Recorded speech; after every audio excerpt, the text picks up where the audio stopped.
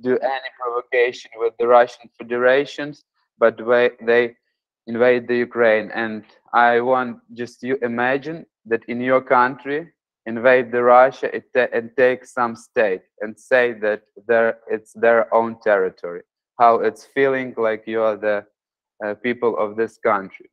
I will tell you the story of patient from the massive casualty. It was the the largest massive casualty that our hospital and our city see maybe for a long years. So our hospital is the biggest hospital of the west of the Ukraine. On this map, you see our country. It's the largest country in the Europe. And here it's my city. It's city near the Poland border. It's the biggest city. And um, we also have the biggest civilian hospital in Ukraine. It's for the uh, 100 1,200 patients. So the Russian forces um, strike by using the mm, missiles that was um, strike near 1,000 kilometers from this location from the Baltic Sea. It was near 51 missile. The training, the biggest training center, military training center of the west of the Ukraine, where in this period was a lot of British soldiers and then unfortunately was died. So um, in this, uh, after the attack of the rockets, we have the 155 victims. It was all the military who have the serious injuries they that need emergency operation and 35 patient was died on this place uh, where strike was done. So the story happened like this. Uh, on the battlefield, there was some type of triage after the airstrike because it's the closed military base.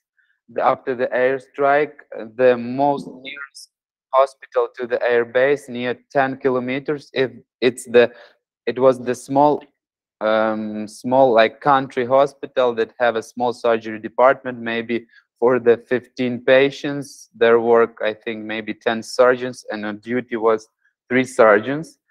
And uh, after the uh, and they see like this was on the work and they see that um, military cars started to bringing the victims. Some victims come in the ambulances, some just laying in the in the uh, normal cars, and they trying to they started to receive these patients. Uh, during the triage, all the patient was red, and the patient was in the black black category. But this hospital have totally no experience with such type of uh, mass massive casualties. So they tried to take into straightly to the operation room a few patients. And during an uh, examination, tried to do the first, like the damage control. I will tell the story about just one patient from um, that case. And this patient was the, I think, the most difficult patient who and alive after who who didn't die after that uh, total injuries and how was story about. So the patient was examined uh, examine uh, was um, examined before the hospitalization in the hospital.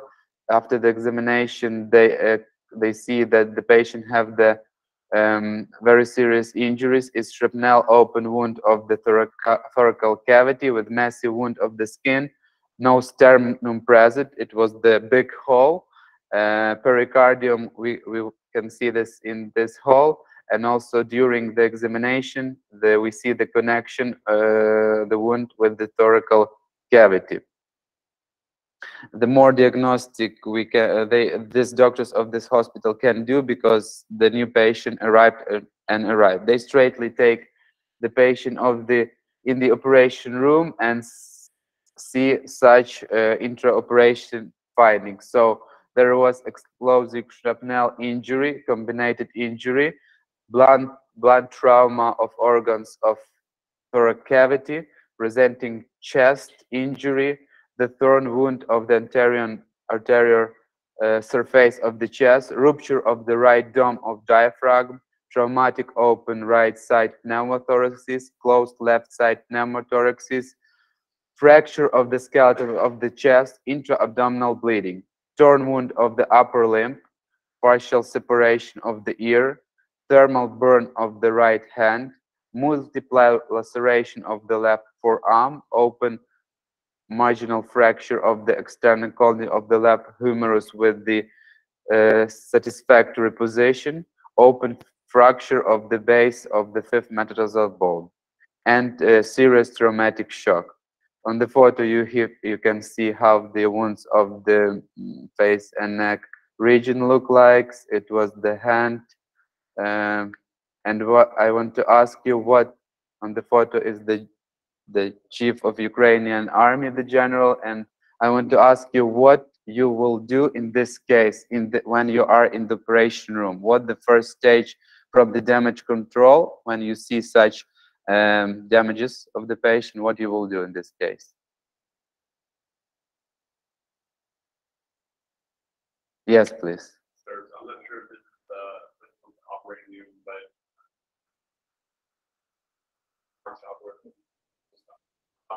that hemorrhage, airway, respiration. As the hemoglobin.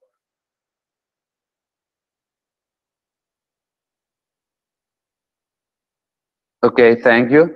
Very nice. And also you need to remember that in this hospital, they have the 89, 90 victims still coming.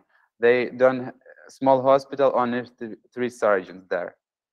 So maybe you like a sergeant before operation, you do some more, you give information about this case or just start to operate? Operate because you don't have a time. This patient is bleeding. Okay. So the first operation that was done, the first the doctor and the duty for this hospital called uh, for Mm, give this information for the central of the emergency center. I, like the chief of the biggest uh, department in the west of the surgery department of West Ukraine, was informed, and we have also the big question: one, what to do in this case?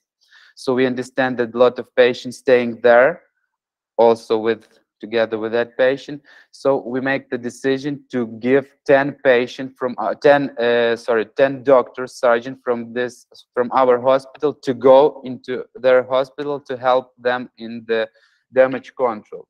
The first what was was done with this patient is was the rifle intubation and uh, drainage of the pleural cavities. So you was right.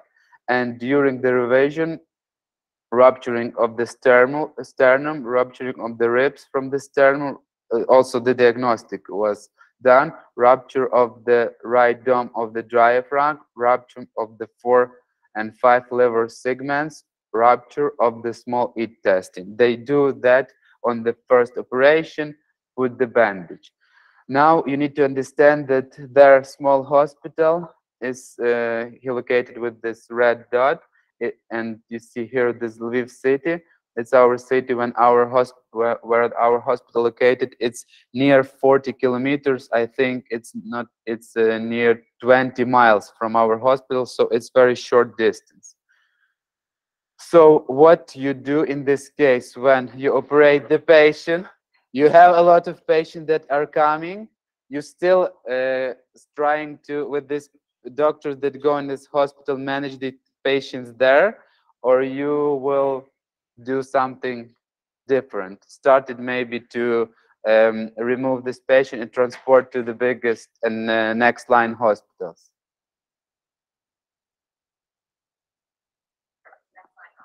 yes i think it's very simple question but it's right and it's true. So uh, this patient and another a lot of patient that was stabilized stabilized was transport were transported to our, to our hospital and um, mm, on the damage control we done the cleaning dressing of the face wound and extremities and the face drainage both of the red drainage of the both pleural cavities with the uh, larger tubes. Uh, and uh, we put the occlusive bandage of the chest cavity, suturing diaphragm and liver was a little bit less sutured, and we we already received the patient with the abdominal packing that they were they done in this small hospital. In our hospital, we already have a possibility to do more deep diagnostic because our hospital is large. We receive also near 60 pa 70 patients from this incident and we have a 45 operation room, but we used 30 operation room and have a time to make the diagnosis directly in this patient because he was very difficult, but he was um, um, a little bit, he became a little bit stable. So we have a, we diagnosed explosion shrapnel injury, combined injury, blunt trauma of organs of thoracal cavity, penetrating chest injury, torn wound of anterior surface of the chest, rupture of the right dome of diaphragm. It was all the part that they diagnosed, but also we have a we diagnosed the blunt of abdominal cavity. Uh, laceration of the right hand is the same. Um, and after we do the second step of diagnosis is the CT scan that we see on it the shrapnel near the left pulmonary, pulmonary artery and uh, in the abdominal cavity. Intestinal contact and L from the uh, laparotomy wound. So we see the patient that uh, it was uh, the diagnostic we do after the few hours, and we left this left this patient in ICU, departed to stabilize him. But on the next day, we see that the bile is come from the laparotomy uh, wound. So we understand that the patient need to go to the next step operation and on the see the high in, uh, intestinal rupture. Also, it was a little bit bleeding, diffuse peritonitis at that time, and massive wound of the chest. Uh, it was the um, was labo laboratory criteria of the patient at that time. You can see the protein. Hemodynamic was stable, but with adrenomimetics. Uh, what your tactic, what you do intraoperational and this case. So the main que question is to suture the um, intestine or put the stoma. What you will choose? Stoma. Okay, why?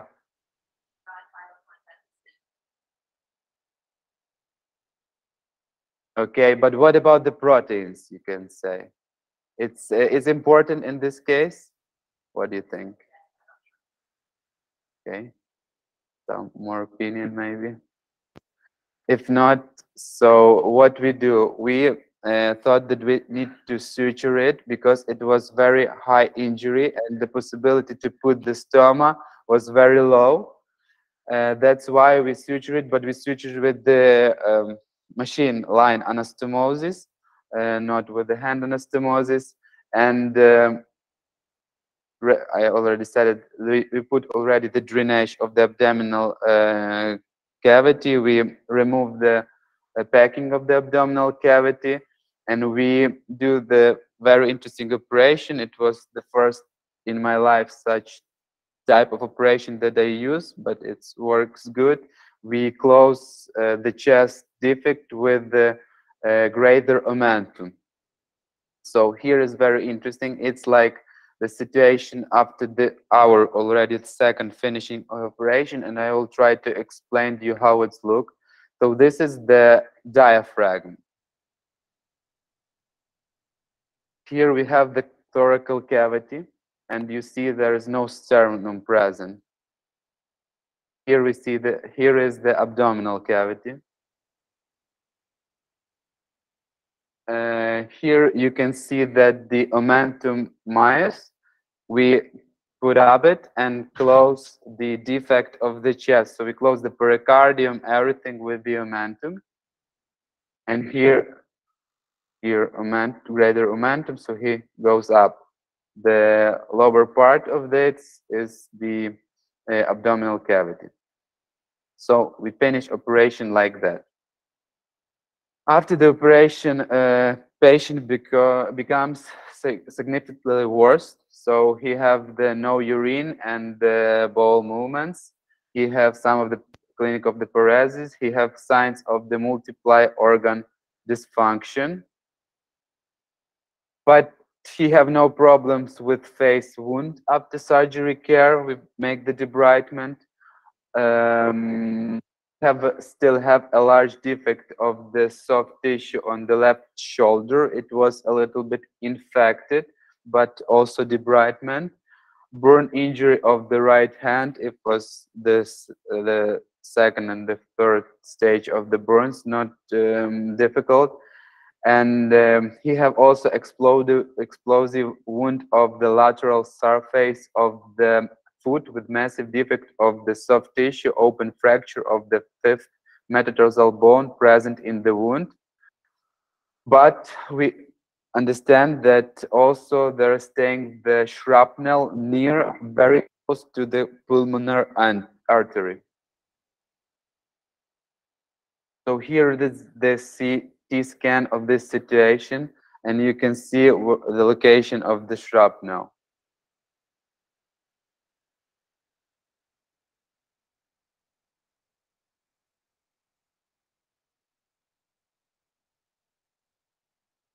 Also, you can see the omentum here already, yes, in the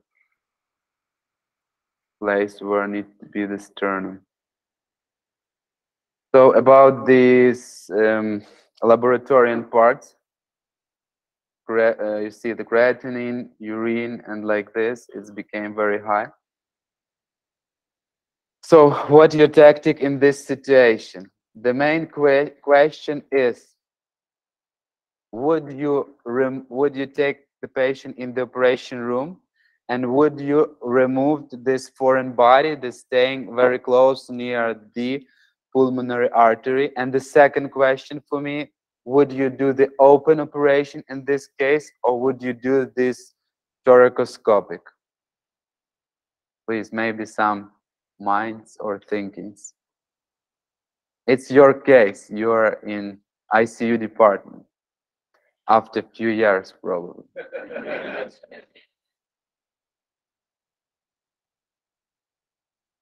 so you have some opinions?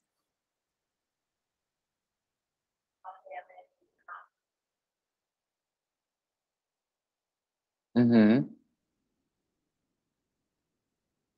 Um, laparoscopically, might be difficult to visualize the anatomy. Um, probably, I think open just easy to visualize. Um, I think you feel like you need to go in there and get it to be stable. Um, travel visit moving, I might be inclined to let them sit for a second, stabilize, and then maybe re-enter. Did you afraid about the bleeding from the an injury of this artery, this uh, pulmonary artery. Okay, nice. So at the period of this situation, we have a possibility to have a consultation with our American militarist doctors, especially with John John Holcomb. Maybe you know about him, and it was also a, diff, a difficult decision for him to because in this situation, we understand when we do the open thoracal operation, it's another big injury to the patient that's staying not stable. But also when we doesn't do this, we can have a possibility of the bleeding with uh, that the possible of managing of this bleeding this patient is very low and probably he will die from this bleeding. So we choose to do the thoracoscopy operation to understand what is in the pleural chest, if there is some hematoma, and like that. So we do the thoracoscopy, and what we see after the operation, this situation, but in the thoracoscopy, there is, was no shrapnel already. It moved uh, maybe intraoperational, maybe before few hours operation in the uh, pulmonary sinus. So was everything fine? It's take near 15 minutes in operation room or 20 and he goes back to the ICU department, and it was the CT scan after the uh, our operation, and we see that already uh, the shrapnel changed their location. It's uh, in the low part of the diaphragm. So after the operation, it already was two weeks. We have um, like it's looked like a frozen abdomen and the intestinal dermal dermal fistula, but the patient was a little bit septic. And um, what's your tactic? What do you do in this stage when the patient, two weeks after the injury, he became better. He already uh, extubated. Uh, he's consciously. He can speak, but he have a fistula. He have a few wounds of extremities. How you will work with this fistula? Your opinion? It's uh, also our president, if you know him.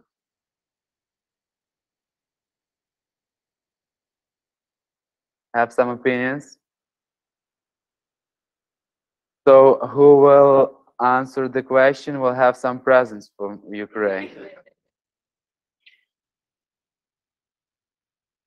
So if you don't uh, uh, know what to do, I want to say what do we do in this case? We also don't want how to work with this patient, but we le left this fistula uh, because he don't lose a lot from it, and we started to feeding patient, make him a little bit more activity and that's like looks this open abdomen.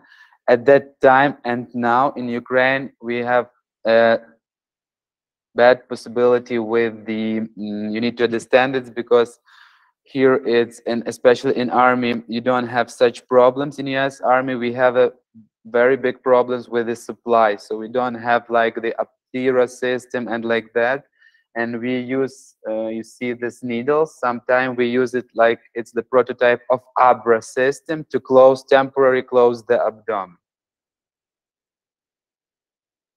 Here already the next photo it was maybe two three weeks after the operation. Here the defect of the sternum and here the open abdomen. And uh, here it's already maybe one month after the operation the patient have this small fistula, it it's look already like the frozen uh, abdomen. It's the total view of the wound. At the same time, the patient have still the burns of upper limbs, the fracture of the uh, stabilized fracture of the um, left upper limb, and lip, le, uh, lip tear suturing what the next problem that we have in this patient it was the open fracture fracture of the fifth metatarsal bone with early osteomyelitis because he have the open wound. In the wound was present the bone and here uh, you see it's very bad option to close this tissue in this location. It's maybe for orthopedics but what we do we start to debride this wound also with our American colleagues, colleagues because in that time they already come to our hospital, our country to help us. And um, we try to do here, you can see we try to do the skin grafts to close the wound, to have a small fistula, and we tried that, we thought that it can be um, closed, but it don't work. You see the necrosis of that. So what your option in this case? It's already not acute patient. It's already patient that needs some reconstruction that have osteom only osteomyelitis and the fistula of intestine. What your minds and thoughts about this one? Maybe someone wants to be the reconstructive surgeon or orthopedics.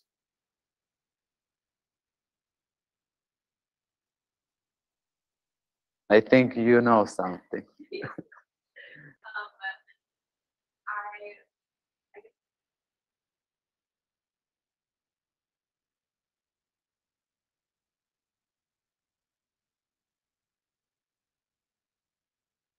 About the food?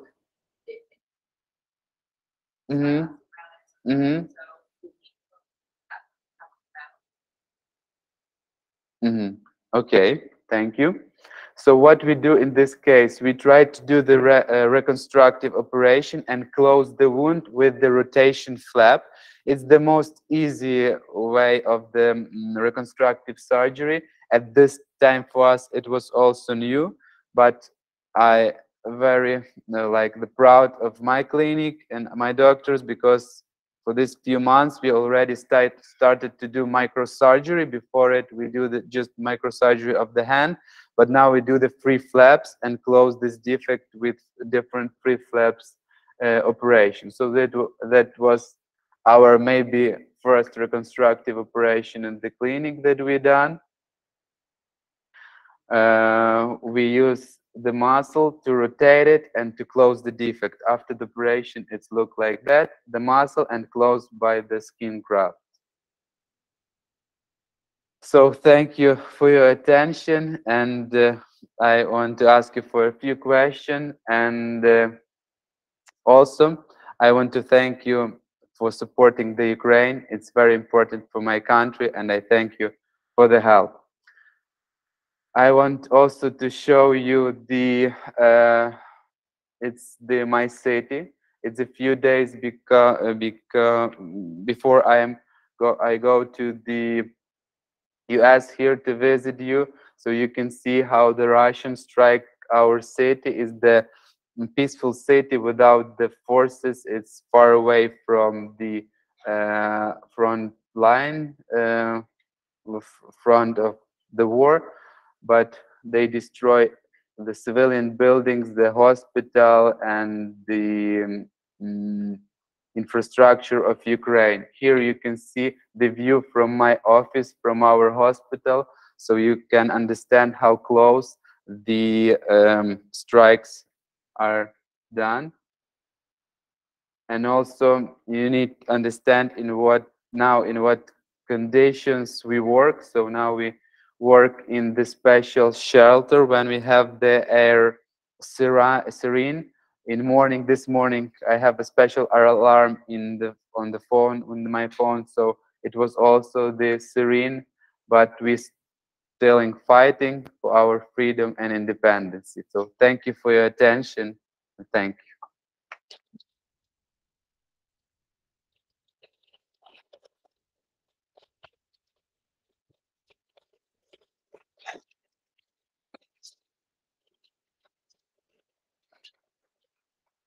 I also want to say if we have near eight minutes, I can demonstrate the lecture that I demonstrated for the College of Surgery. It's a little bit about the tactics uh, in the health system of Ukraine, how it's worked after the war started. If it's interesting, it can be uh, shown. That would be great.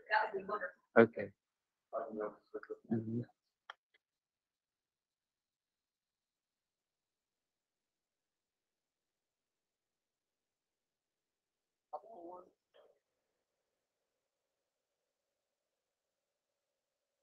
Yes.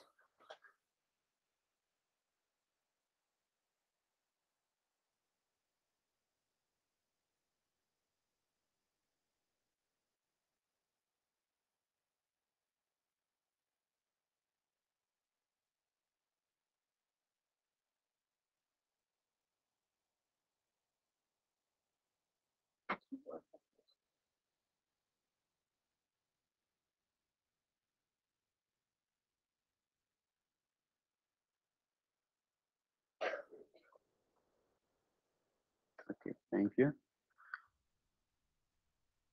So uh, what's happened now in Ukraine? Here is more detailization about the um, healthcare system.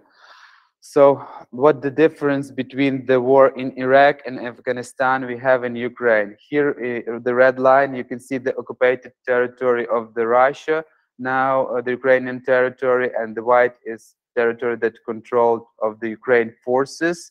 Uh, there's another color, you can see the health of the regained by Ukraine territory, and you need to understand that the war is going between these lights. So from Lviv to this regions near 1,000 kilometers, and it's near 500 miles.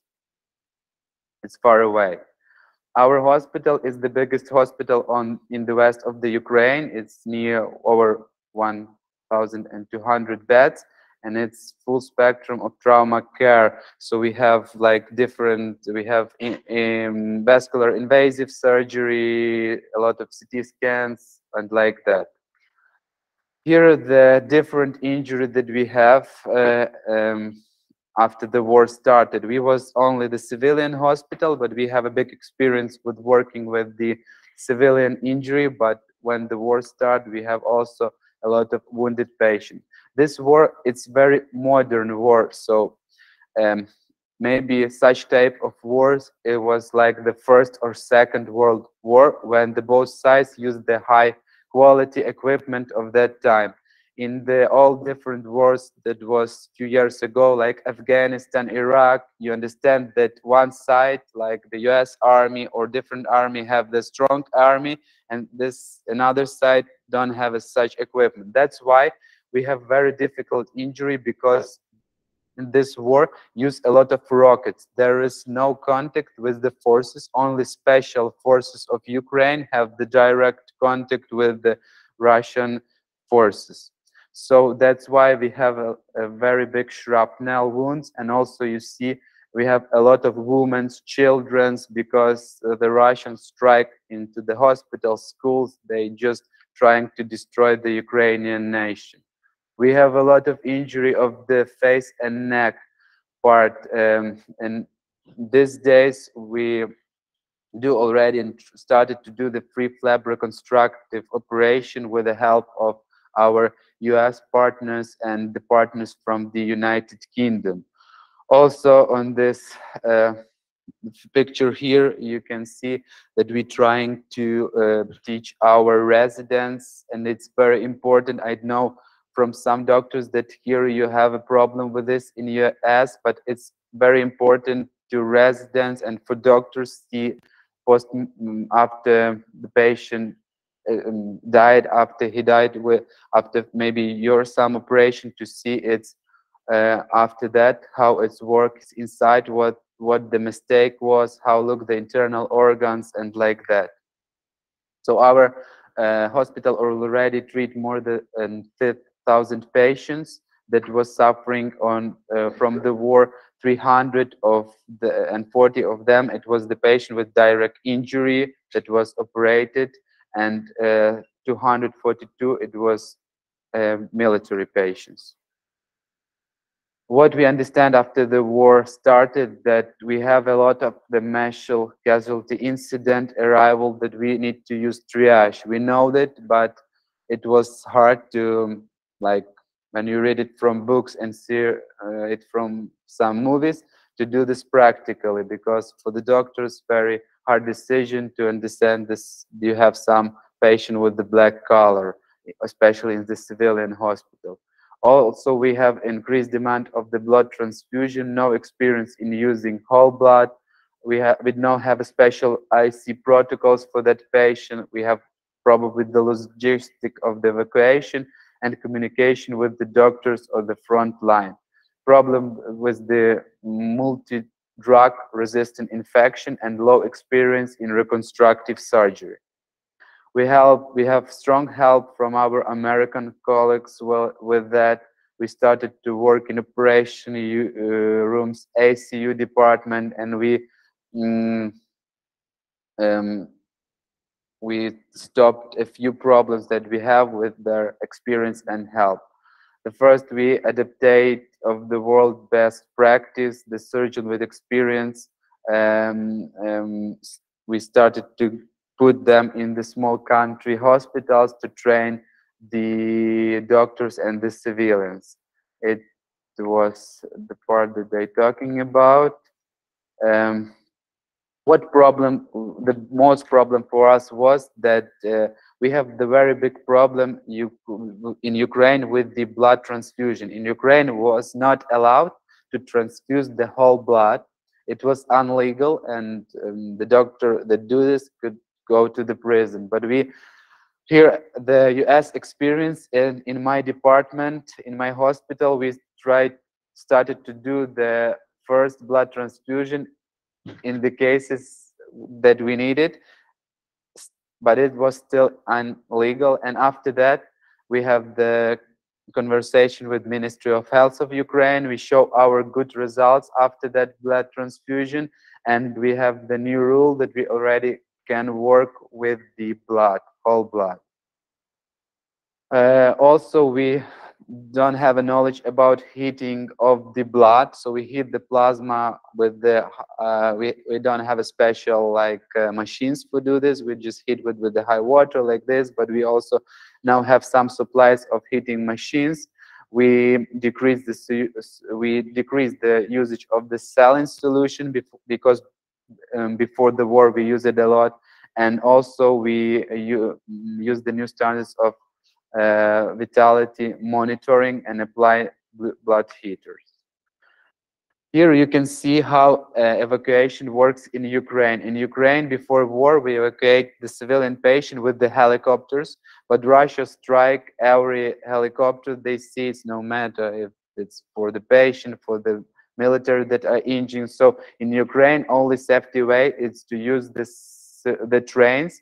We um, transform into the ICU trains, and we uh, trans tr- we um, take the patient from the front line. It's near 100, uh, 1,000 kilometers. So we have the next big problem because the patient after three days staying in small hospital that have not good supply with the antibiotics, with the um, a lot of knowledge is how to care with the mm, uh, with the uh, trauma control, the patient have a lot of the infection and mostly all patients that are coming from the front line, they have the serious um, infection that are um, that are multi-resistant and especially I think it's the most popular is the Acinetobacter infection. Um, so it's uh, don't work.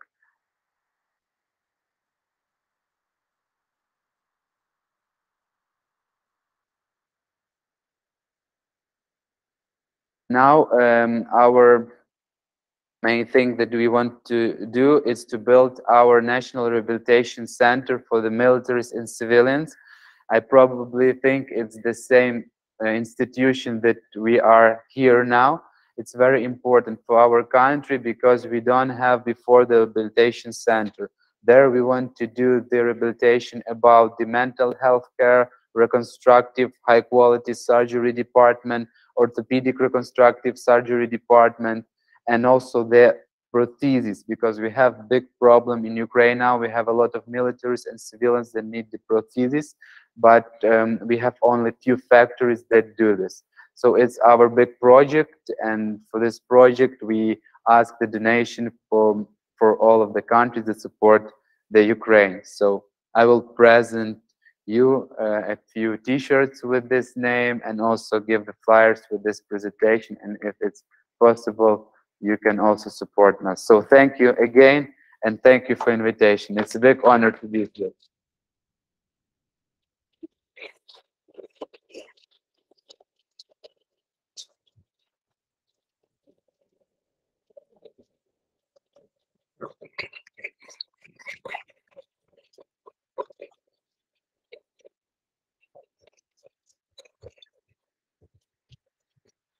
Thank you very much. And I want also to ask you, can I make with you photo here for memory and for showing our old hospital that we are together with you? So, uh, Hnat, great, uh, great talk. And I have a comment and a question for you, then we'll, Dr. Woodson has a comment and a question, then we'll open for questions. Uh, the comment, and this is really, I think, very important, and it reinforces something that I think we saw when we're in Iraq and Afghanistan, is that, you know, the patient that you showed, you walked us through the clinical care of a very complex patient. What's critical there is that although the logistics of conflict are different, the supplies you have, the patient populations, whether patients are wearing body armor or not, the antimicrobial resistance, the biology and the care of those patients is the same, right? And every step of the way that was dealing with one problem at a time. You know, take that chest wall defect, you know, bring in an omental flap up, That's something we learned from taking care of patients with mediastinitis, you know, uh, dealing with the osteomyelitis, dealing with the EC fistula. Every step was based on principles of practice that you're able to put together in the care of one particular patient. I think that's really important because when we talk about future conflict, we tend to lose sight of that. But the biology is the same. You have to adapt to the logistics that you're dealing with. So that is really important for all of us to see that and just re remember that, you know, the basic biology, the basic principles, and bringing that together in a complex patient. So really well done, uh, of course. My question for you is you talked about antimicrobial resistance, you talked about Acinetobacter, which is, you know, the um, the bioburden that we saw a lot in Afghanistan, coming out of Afghanistan and Iraq. The other question I have for you is have you seen a fair amount of invasive fungal infections with things like aspergillosis? Uh, that was another bioburden that we saw uh, in Iraq and Afghanistan. Was particularly challenging to care for those patients. Thank you. Thank you for your question and for your comments. So about the first question about the Acinetobacter infection, we have really no experience how to work with that because it's non-popular infection within the civilian life. And also in Ukraine, we have such problem that we use very, like we understand already, and it was traditional there. We use the old-fashioned antiseptics local. We use the betadine. It was more the most popular antiseptic that we use, and we um, understand that this don't work in these cases. So we use, we try to use with the help of our American colleagues Dakin solution. And this uh, local treatment of the infection give us a possibility in some cases to don't use total antibiotic therapy. So the patient wounds can be only treated by this um, debridement and the using of the local antiseptics. It's our experience. And the second question, it's about the fungus infection. Yes. So at this time, really, we don't have the patient with this infection. Maybe it's some different environment in Ukraine. It's hard to explain, but we still don't have this. Thanks. Can you hear me? Great. Well, congratulations uh, uh, on a number of levels. Uh, first, uh, to the Ukrainian people for their perseverance. Uh, I think never um, has the world been in such a dire straits since 1939. And so uh, we clearly stand with you, but congratulations to the Ukrainian people for their, their perseverance. Also, congratulations uh, to your medical system for a rapid adaptation of uh, adaptation and adoption of uh, techniques. It took us several years in uh, Iraq and Afghanistan to make these improvements, and uh, you've done um, wonderful work as as demonstrated by this very complex case in just uh, several months. The question I have really is twofold. One, um, what um, is your status in terms of medical personnel uh, to care for these ongoing uh, complex wounds of war? And two, um, how is your country, again, adopting to the long term care of uh, the ill and injured, uh, which presented a problem for us here in the US? Um, but um, uh, where do you stand in terms of the ability to do the long-term care and follow-up care? Because many of these uh, cases require repetitive trips to the operating room as you demonstrated for washouts and uh, and follow-up care. Um, but congratulations again. Um, you know your country is uh, and what you've accomplished is a beacon for the world Thank you very much. Thank you for your question. I start from the last part of it. So about the long term, about this patient, it's about the rehabilitation. It's about the rehabilitation center that we need to create. We don't still have it in Ukraine. That's why we understand the rehabilitation part. It's very important because like I present this uh, case of this guy, you, you, you need to understand that he will have a lot of problems in the future. Probably he will have a mental problem, probably probably and 100% he will need some more difficult operation with his chest because it will be not stable. It, without the sternum we need to stabilize it. And that all need the building the new new modern rehabilitation system in ukraine. Also we have like for the long term, we need to have and understand that we have a nice because hard maybe to you even doctors come to uh, them it's really when the operation they have limited stuff to work we have limited suture this patient you can use the VAC therapy system and the next patient you also need to use it but you need to choose from two or three patients just one can take so it's the big problem and we need to have non-stop supply. You know the war and the information when it's long going in use it became unpopular. To all countries that living in peace are tired from that but you need to understand that the war is still going so we need help under this and uh, the, also we have an important thing. At the beginning of the war when the war started we have totally no supply so my department had such situation. Um, when the war started army take off all the bandage material from the country to their needs. And uh, but some morning I go to the work and my nurses come to me and said, the, uh, sir, sir, what we need to do, we don't have the bandage material.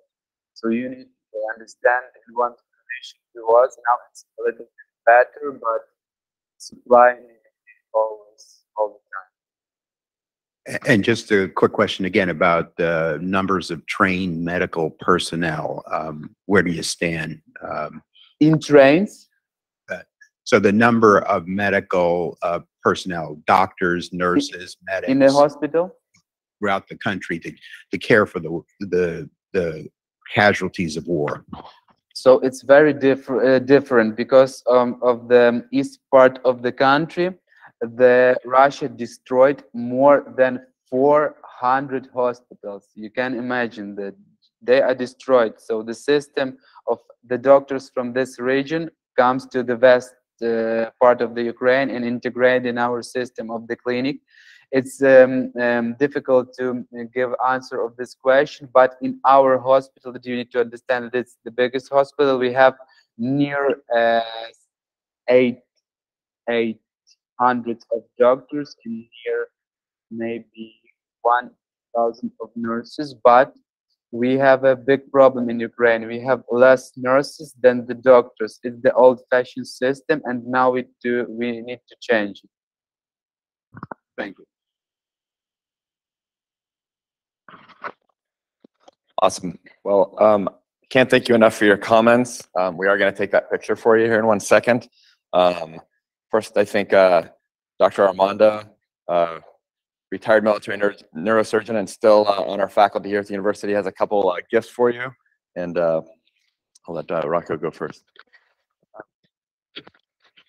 Absolutely outstanding presentation. Uh, So I sat in that seat as well as many of us here back in uh, 1986 to 1990, student looking upon what would my career entail.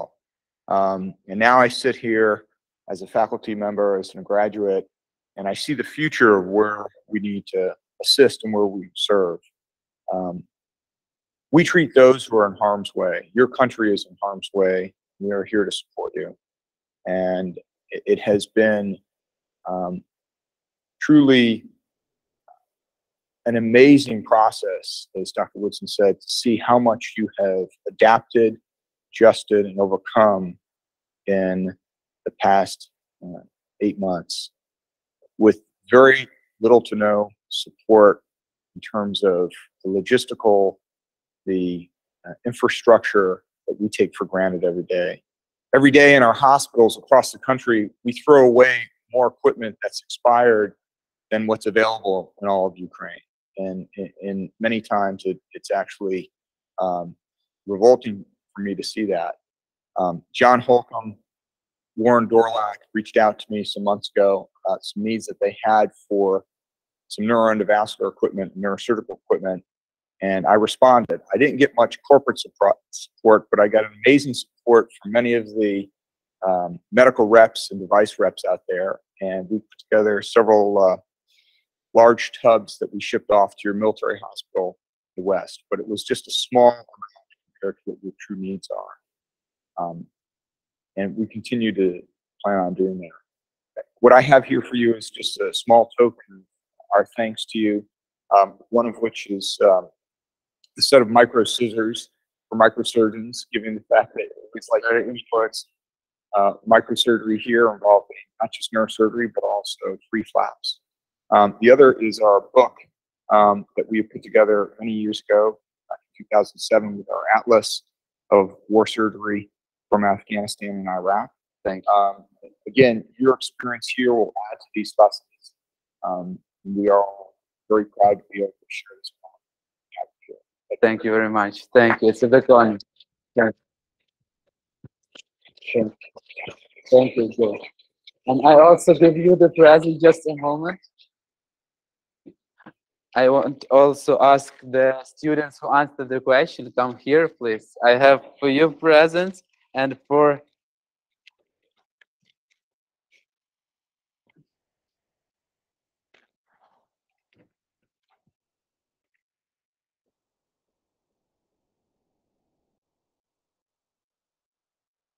So thank you for your knowledge. I think you will save a lot of lives in the future. Thank you. Thank you for you.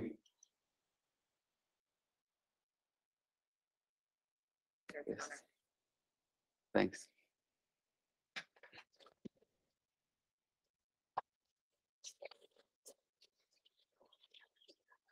So uh, we were able to give Dr. Herych uh, a couple of uh, gifts last night at dinner with uh, Dan Gallagher, uh, Daniel Holt, uh, myself, and, and one of our residents. Um, here we have a certificate of appreciation, of course, signed by Dean Elster and myself. Um, Uniform Services University tie, Thank you very much. although he's got he's got the very Eu- European style going with the turtleneck. Uh, didn't wear a collared shirt at dinner last night, so I don't know if he ever wears ties. Um, probably an occupational hazard in Ukraine at this point. I will go in my work with this every day. And then, of course, you can't uh, get away from any military visit without one of our coins. Uh, so this is the Department of Surgery coin from Uniform Service University. Thank you. Um, have time for the picture? yeah. Yeah.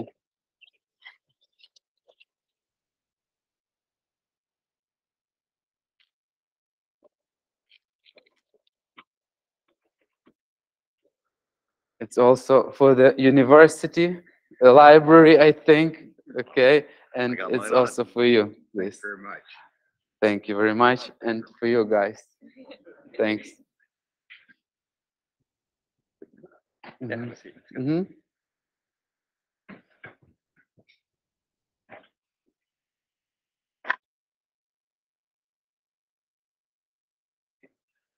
Daniel, you can you guys get in there. I'll text it to you. That's my phone. I'll send it to you and. We can text it.